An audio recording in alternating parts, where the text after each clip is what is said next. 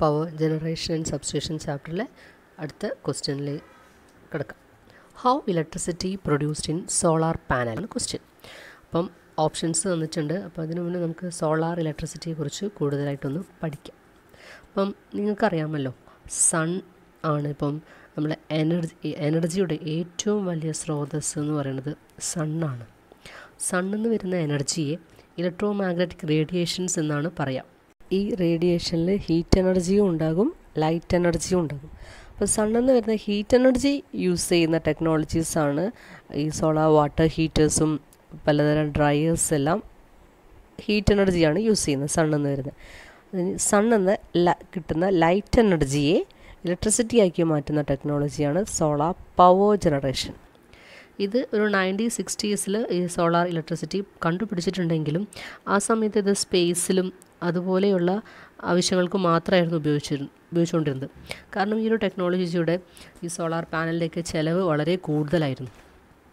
പിന്നീട് കൂടുതൽ റിസർച്ചും ഒക്കെ നടത്തിയതിന്റെ ഫലമായിട്ട് ഈ പാനൽസുകളൊക്കെ ലോ കോസ്റ്റിൽ ഉണ്ടാക്കാൻ തുടങ്ങി. അങ്ങനെ വളരെ ചുരുങ്ങിയ കാലമായിട്ടേ ഉള്ളൂ നമ്മൾ ഈ സോളാർ ഇലക്ട്രിസിറ്റി സാധാരണക്കാർക്കൊക്കെ പരിചയമായിട്ട്. നിങ്ങളെല്ലാവരും തന്നെ കണ്ടിട്ടുണ്ടാവും സോളാർ പാനൽസ് അപ്പോൾ ഈ സോളാർ പാനൽസിൽ സൺലൈറ്റ് വന്ന് പതിക്കുമ്പോൾ ആ ലൈറ്റ് എനർജിയെ ഇലക്ട്രിസിറ്റി ആക്കി മാറ്റുകയാണ് ചെയ്യുന്നത്.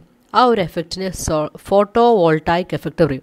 Photo means light voltaics mean electric energy so ലൈറ്റിനെ electric എനർജിയായി കൺവേർട്ട് ചെയ്യുന്നതാണ് സോളാർ പാനൽസ് അപ്പോൾ എല്ലാതരം മെറ്റീരിയൽസും ഇങ്ങനെ ലൈറ്റിനെ ഇലക്ട്രിസിറ്റി ആക്കി മാറ്റില്ല. അതിന് സെമി കണ്ടക്ടർ മെറ്റീരിയൽസ് തന്നെ ചൂസ് ചെയ്യണം. അപ്പോൾ ഈ ഒരു എഫക്റ്റ് പഠിക്കുക ഫോട്ടോ വോൾട്ടായിക് സോളാർ പാനലിന്റെ ഏറ്റവും മുകളിൽ നമ്മൾ കാണുന്നത് ഗ്ലാസ് അല്ലെങ്കിൽ ഫൈബർ ആയിരിക്കും. അതിന്റെ ഉള്ളിൽ ബ്ലൂ അല്ലെങ്കിൽ ബ്ലാക്ക് കളറിൽ കാണുന്നതാണ് സോളാർ സെല്ലുകൾ അപ്പോൾ ഈ ഒരു സോളാർ സെല്ലാണ് ചിത്രത്തിൽ കാണിച്ചിരിക്കുന്നത്. ഒരു സോളാർ സെല്ല് എന്ന് പറയുന്നത് ഒരു എൻ ടൈപ്പും പി ടൈപ്പും സെമി കണ്ടക്ടേഴ്സുകൾ ഇങ്ങനെ സാൻഡ്വിച്ച് പോലെ അടുക്കി വെച്ചിരിക്കുകയായിരിക്കും. ഒരു എൻ ടൈപ്പും ഒരു പി ടൈപ്പും. അതാണ് ഈ ചിത്രത്തിൽ നെഗറ്റീവ് പോസിറ്റീവ് ആയിട്ട് രണ്ട് ലെയർ ആയിട്ട് കാണിച്ചിരിക്കുന്നത്. എൻ ടൈപ്പിൽ ഇലക്ട്രോൺസ് കൂടുതലും പിയിൽ ഹോൾസ് ആയിരിക്കും കൂടുതലുണ്ടാവും അപ്പം ഈ ഒരു semi conductor N P N semi conductor മെറ്റീരിയലിൽ തന്നെ ചെറിയൊരു പൊട്ടൻഷ്യൽ ഡിഫറൻസ് സ്വാഭാവികമായിട്ടുണ്ടാവും. കാരണം അതൊരു പി ടൈപ്പും എൻ ടൈപ്പുമാണ് ഇങ്ങനെയുള്ള ഒരു മെറ്റീരിയലിലേക്കാണ് സൺലൈറ്റ് വന്ന് പതിക്കുന്നത്. അപ്പോൾ ലൈറ്റിൽ ഉണ്ടാവുന്ന എനർജിയെ ഈ ഇലക്ട്രോൺസിന് കിട്ടുമ്പോൾ ഇലക്ട്രോൺസ് ഒരു പൊട്ടൻഷ്യൽ കൂടിയ സ്ഥലത്ത് നിന്ന് പൊട്ടൻഷ്യൽ കുറഞ്ഞ സ്ഥലത്തേക്ക് മൂവ് ചെയ്യും. ദറ്റ് മീൻസ് അവിടെ ഒരു ഇലക്ട്രിക് കറണ്ട് ഉണ്ടാവുന്നുണ്ട്. ഇതാണ് ഇതിന്റെ ബേസിക് വർക്കിംഗ് പ്രിൻസിപ്പിൾ എന്ന് പറയുന്നത്. ഇതിനെയാണ് നമ്മൾ ഫോട്ടോ വോൾട്ടായിക് എന്ന് പറയാം.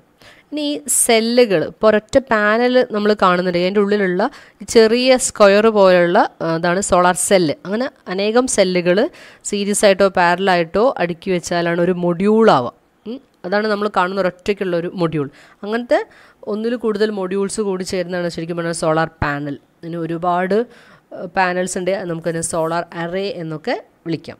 ഇങ്ങനത്തെ ഒരുപാട് സോളാർ എറേകൾ കൂടി ചേർന്ന് ചേർന്നാണ് നമ്മുടെ നെടുമ്പാശ്ശേരി എയർപോർട്ടിലുള്ള സോളാർ സിസ്റ്റം. ഇനി വേറൊരു കാര്യം പറയാനുള്ളത്. ഈ സോളാർ സെല്ലിൽ ഏത് തരം ലൈറ്റ് പതിച്ചാലും നമുക്ക് ഇലക്ട്രിക് എനർജിയാക്കി മാറ്റാൻ പറ്റും.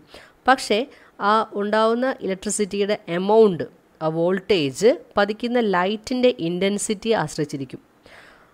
അപ്പോൾ ലൈറ്റിന്റെ ഇന്റൻസിറ്റി ഇപ്പം മതിയായ അളവിലുള്ള ഊർജം എനർജി ഉള്ള ലൈറ്റ് പതിച്ചാൽ മാത്രമേ നമുക്ക് പ്രോപ്പറായിട്ട് ഇലക്ട്രിക് എനർജി ആയിട്ട് പ്രൊഡ്യൂസ് ചെയ്യാൻ പറ്റത്തുള്ളൂ. അതേപോലെ ഇപ്പോൾ മേഘങ്ങളുള്ള ഒരു സമയത്താണെങ്കിലും പാനലിൽ ചെറിയൊരു ഇലക്ട്രിസിറ്റി പ്രൊഡ്യൂസ് ചെയ്യാൻ പറ്റും. പക്ഷേ സാധാരണ നല്ല സൺഷൈൻ ഉള്ള സമയത്ത് പ്രൊഡ്യൂസ് ചെയ്യുന്ന അത്രയും ഇലക്ട്രിസിറ്റി ഉണ്ടാവില്ല എന്ന് മാത്രം. അപ്പോൾ ഇതിൽ നമ്മൾ ആദ്യം ഒരു പാനൽ വെക്കുമ്പോൾ നോക്കേണ്ടത് സോളാർ ലൈറ്റ് ഇന്റൻസിറ്റി ആ ഒരു സ്ഥലത്ത് പ്രോപ്പറായിട്ടുണ്ടോ എന്നാണ്. അത് ഒരു മീറ്റർ സ്ക്വയർ ഏരിയയിൽ എത്രത്തോളം സൺലൈറ്റ് സൺ പവർ ലഭിക്കുന്നു എന്നാണ് നോക്കുക. അതിനാണ് ഇറേഡിയൻസ് എന്നൊക്കെ പറയാം. അതിനൊരു എക്യുപ്മെന്റ് ഉണ്ട്. എക്യുപ്മെന്റ് വെച്ച് നോക്കുകയാണ് സാധാരണ ചെയ്യാറ്. ഇനി ഈ ഒരു സോളാർ സിസ്റ്റത്തിൽ പാനൽ കൂടാതെ ഉള്ള ബാക്കി എക്യുപ്മെൻസിന് എല്ലാത്തിനെയും കൂടി നമുക്ക് ബാലൻസ് ഓഫ് സിസ്റ്റം എന്ന് പറയാം. അപ്പോൾ പാനൽ കൂടാതെ ഒരു സ്റ്റോറേജ് ബാറ്ററി ഉണ്ടാവും. കാരണം പാനലിൽ നമുക്ക് ലൈറ്റ് ലൈറ്റ് കിട്ടുമ്പോൾ മാത്രമേ ഇലക്ട്രിസിറ്റി പ്രൊഡ്യൂസ് ചെയ്യാൻ പറ്റുള്ളൂ. അപ്പോൾ ഇപ്പോൾ രാത്രി ആവശ്യങ്ങൾക്കും വേണ്ടി ഉപയോഗിക്കാൻ വേണ്ടിയിട്ട് നമുക്ക് ബാറ്ററീസ് യൂസ് ചെയ്യാം. സാധാരണ പന്ത്രണ്ട് വോൾട്ട് ഇരുപത്തിനാല് വോൾട്ട് ബാറ്ററിയൊക്കെയാണ് സോളാറിൽ യൂസ് ചെയ്യാറ്. ദെൻ ബാറ്ററിക്ക് കഴിഞ്ഞിട്ട് നമുക്കൊരു ചാർജ് കൺട്രോളർ വേണം. ഈ ചാർജ് കൺട്രോളറാണ് ബാറ്ററിയെ ശരിക്കും പറഞ്ഞാൽ പ്രൊട്ടക്റ്റ് ചെയ്യുന്നത്. അപ്പോൾ ബാറ്ററിക്ക് സോളാർ പാനലിൽ നിന്ന് ഇലക്ട്രിസിറ്റി ബാറ്ററിയിലേക്ക് വരുമ്പോൾ ബാറ്ററി ഓവർ ചാർജ് ആയി പോവാതിരിക്കാനും അതുപോലെ ബാറ്ററിയിൽ കണക്ട് ചെയ്ത ലോഡുകൾ കണക്ട് ചെയ്തിട്ടുണ്ടാവും. നമുക്ക് ആവശ്യമുള്ള ലോഡുകൾ. അപ്പം ബാറ്ററി ഓവർ ഡിസ്ചാർജ് ചെയ്യാതിരിക്കാനും എല്ലാം ഈ ബാറ്ററിനെ പ്രൊട്ടക്റ്റ് ചെയ്യുന്നത് ചാർജ് കൺട്രോളറാണ്. പിന്നെ വേറൊരു ഇമ്പോർട്ടന്റ് ഫങ്ഷൻ ചാർജ് കൺട്രോളറിന്റെ വരുന്നത്. ഇപ്പോൾ രാത്രി സമയത്ത് ഇപ്പം നമ്മൾ രാത്രി പാനൽ ഇലക്ട്രിസിറ്റി പ്രൊഡ്യൂസ് ചെയ്യുന്നില്ല.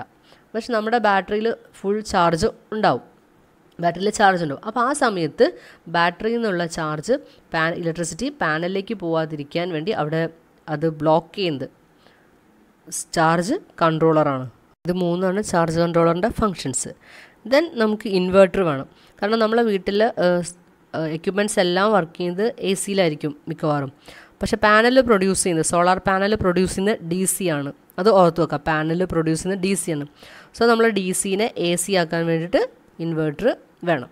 ഇത്രയാണ് മെയിൻ ആയിട്ടുള്ള എക്യുപ്മെന്റ്സ് പാനൽ കൂടാതെ ഒരു ബാറ്ററി വേണം ചാർജ് കൺട്രോളർ വേണം ഇൻവേർട്ടർ വേണം. പിന്നെ സപ്പോർട്ടിംഗ് സ്ട്രക്ചർ വേണം. നമ്മുടെ പാനൽ മതിയായ രീതിയിൽ സൂര്യപ്രകാശം കിട്ടുന്ന രീതിയിൽ നിൽക്കണമെങ്കിൽ അതിനൊരു മെക്കാനിക്കൽ സ്ട്രക്ചർ വേണം. കാറ്റ് അധികം കാറ്റടിക്കുമ്പോഴൊക്കെ അത് പൊട്ടാതിരിക്കാനും അങ്ങനെ ഫിസിക്കലായിട്ട് അതിനൊരു സപ്പോർട്ട് വേണം. അതിനാണ് സപ്പോർട്ടിങ് സ്ട്രക്ചേഴ്സ് പറയാം.